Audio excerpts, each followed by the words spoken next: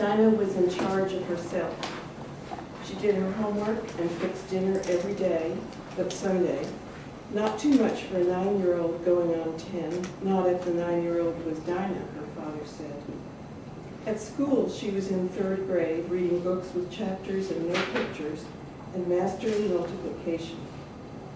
When the afternoon school bus dropped Dinah at the ranch gate, she walked the quarter mile to the low water bridge across Plum Creek, where Mama's more or less terrier, Bird, waited under a live oak, rain or shine.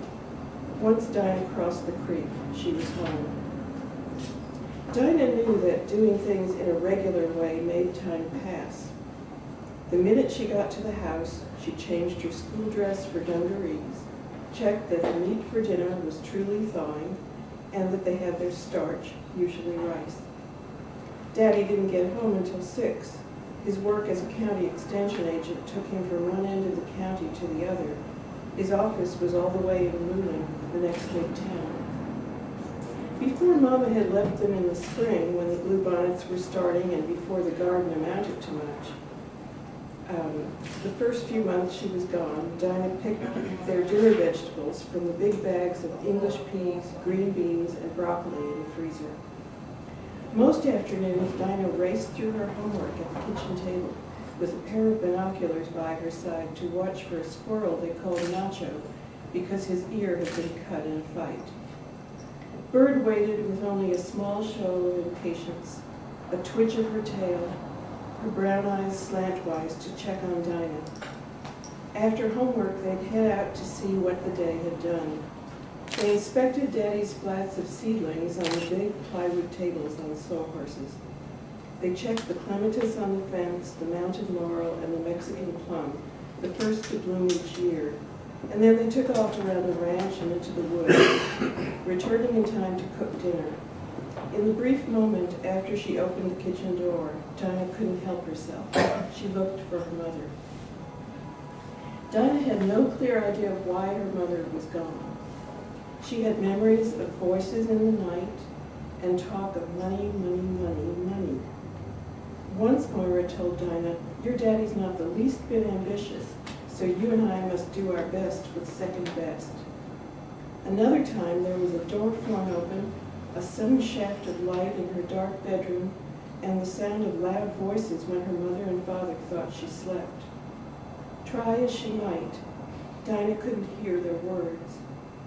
Dinah pictured her mother in the vegetable garden, and when she held the image long enough, she heard Moira sighing. But her, but her mother might as easily have sighed from being hot and tired as from yearning for a different life with a man who was ambitious and gave her first best. Whatever her mother's reasons, Dinah's imagination couldn't take her past the irreducible fact that one day she came home from school and her mother was gone. D.R., Dinah's father, claimed that he had little interest in people. The world that held him was botanical. Hybrids and imports inspired his scorn. He respected the uncultivated natives. If he had his way, he once told Dinah, he'd spend his life wandering and be happy if he saw even half of the species to be found across Texas. D.R. had graduated from Texas A&M University, his father's alma mater, in the mid-1930s. D.R.'s father had died at an early age electrocuted in a farm accident. It wasn't a question of whether D.R. would attend A&M, it was a given. He majored in plants, as he called the science of growing bigger, better, and more bug-resistant crops to feed the increasing numbers of livestock and people. And after graduation, he became a county extension agent and worked in one rural area of Texas after another. David Runhell Warren, called DR, met Dinah's mother, Moira O'Brien, when he was in Fort Worth for a convention. He married her and took her west, where there were plant-devouring cattle and money-producing oil fields, and then to counties south where there was so much land, all of it flat, that it was like standing on a great ocean. There, crops tore up the native habitat and cattle overgrazed. Moira's family had not wanted her to marry DR. They had toiled for decades in Fort Worth, selling automobiles for a harvest of cash and wanted her to have a businessman or a banker for a husband. In driving from ranch to ranch, small town to small town, Dinah's father became a keen observer of the landscape. Anyone who wasn't blind could see the bluebonnets and Indian paintbrushes blanketed in the spring. But DR's view was keener. He taught Dinah to read the signs the plants gave in their cycle. DR's longest assignment, the one he said he would re- retire from, was in central Texas, Caldwell County, 30 miles south of Austin. In exchange for minimal caretaking duties, he and Nora and Dinah lived on a ranch on Plum Creek. There he conceived the idea of saving at least one Texas wildflower from what he called the three horsemen, cattle, highways, and developers. He chose Amoreuxia wrightii, the fragile yellow show, and began by gathering seeds and finding the best conditions to propagate them in pots, flats, and beds. He collected the yellow show's tiny seeds and distributed them free of charge to whoever would take them. Because of his conviction that the abundant wildflowers of Texas were in grave danger, DR endured the amusement of his fellow citizens, and Dinah went through school as the daughter of a parent. One afternoon, when the school bus pulled up to the ranch gate, Bird wasn't waiting for Dinah under the live oak. Mr. Christie, the bus driver, took a look at the sky and ordered Dinah to get to the house and stay there. Go to the center of the house, he told her. Don't tarry. Tornado possibilities. Daddy always said that Vernon Christie looked for the cloud and ignored the silver lining. But that afternoon, the sky was as green as a lima bean, and it throbbed as if something wanted out. When Dinah got to the house, Bird was there. The dog wormed inside the kitchen before Dinah opened the door more than a crack. Bird hated thunder, lightning, and rain, and probably wasn't fond of tornadoes. She didn't fear snakes, though, and alerted Dinah to rattlers on their walks. Now she was whining. Maybe she could hear the tornado and Dinah couldn't. Dinah noticed at that moment how very still everything was, and then she heard a new noise, like a train, far off but coming closer, the biggest train the world had ever known, bearing down on them. Go to the center of the house, but where was that?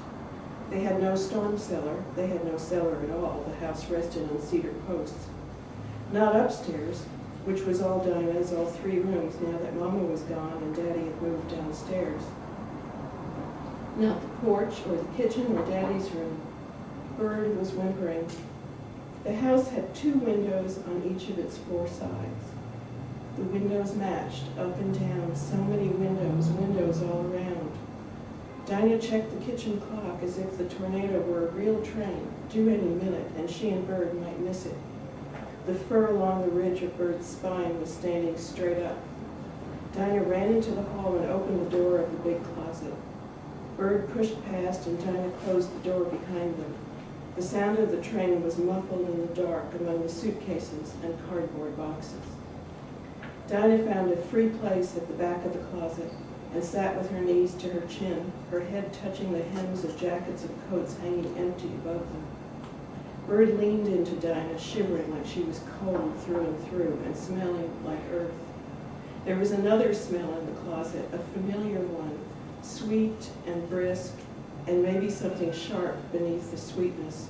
Mama in the garden brushing a drop of sweat away and inspecting the row she'd hoed with a look on her face that said her own storm of temper and discontent was coming. One day Dinah had arrived home from school and her mother's things were gone. Clothes gone, Bible gone, and gone was the embroidered runner Mama kept on her vanity along with the jars of Noxzema and Jergens lotion and her bottle of Lily of the Valley cologne, her silver-backed brush and the Breck shampoo bottle from the side of the bathtub.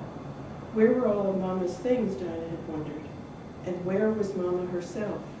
Dinah's father didn't make it possible to voice either question. Now, in the wind and the howling of the train and the pounding of the metal roof trying to free itself, Dinah's first question was answered by the boxes that her father, in his fury and misery, had shut in the closet. Now, when the sounds were bearing down upon her, Dinah was grateful for her mother's presence, even if it was just her things. If she closed her eyes and breathed in as deep as she could, Dinah might catch the train. The tornado came close, knocking down their mailbox, taking the scrubby trees alongside the road, missing the house, missing Dinah and the dog. Two years later, Moira's older brother telephoned one Thursday night while DR and Dinah were listening to the Lone Ranger to say that Moira was dead. Inexplicably, she had been living in Los Angeles, and her car had been hit by a truck on her way to work. Her body was with her parents, and if DR wanted to attend the funeral, he better get to Fort Worth in a hurry. The church in Fort Worth had tall white columns in front. DR wouldn't let go of Dinah's hand as he walked her down the aisle and sat her close to the altar. They were just one row behind the family, and the sight of Moira's well-known features on their unsmiling faces, her long nose and the shape of her eyes, was dizzying. As soon as Dinah got settled, her grandmother turned around and called her by name, telling Dinah to go up front to pay her respects to her mother. The top of the casket was closed. Dinah took courage and touched her hand to the polished wooden surface. The coffin looked both too small and too large. Dinah couldn't decide whether or not it was a good fit for Moira, but then she wasn't convinced that her mother was inside. The sermon and the prayers were nothing that couldn't have been said of any human being who'd been born and died. Dinah and DR rode out to the cemetery in the pickup, following the hearse and the limousines. And after the cemetery, at Dinah's grandmother's invitation, they went to the house, which was grander than the best houses in their town, even though it was the county seat. When the guests left and the food and drink had been cleared away by a maid in a white apron, the family sat in the living room. Dinah had eaten too many lemon bars, but she knew better than to complain to her father. We can offer Dinah things you can't, David, her mo- grandmother was saying, and we'd like nothing more than to have her with us. We've had this discussion before. I haven't forgotten your kind offers, David said, DR said in the accepting tone he used for the weather and the failure of an experiment. Dinah wondered whether the, when these order, offers had been made. DR was next to Dinah on a plush couch, dressed in his one suit, a white shirt, and the red tie he ironed that morning. A strand of enormous pearls curled on her grandmother's bosom. City and country, her grandmother and father might as well have been from separate galaxies. We can educate the girl, an uncle said. He was the one closest to Moira in age, the one who looked most like her, and Dinah concentrated on his eyebrows. Fort Worth has a lot to offer a girl like Dinah. Dancing lessons, piano, or another instrument if she prefers. We have the resources. We can send her to college in the East. She'll have real opportunity. Dinah was in no way musical. Dancing was not her strong suit. She knew they wouldn't let her keep her mother's dog, and in that moment, the after-school walks with birds seemed precious above all else. Besides, who would see that dinner was waiting for her father? Her grandfather's voice was gravelly, like he hadn't talked in days. If Dinah doesn't come live with us, that's the end of it. No money from this family, no trust fund, no inheritance, not a dime. Dinah's father got up from his chair. Your offer is generous, he said. I appreciate it. Still in all, I don't think making a rich orphan of Dinah is any solution. Only then did DR look at Dinah, but she was already on her feet. She gave a curtsy, the best she could manage, and raised her hand in a wave. She couldn't do what manners dictated and kiss her grandparents and uncles farewell. She walked out beside her father and drove with him home to Plum Creek.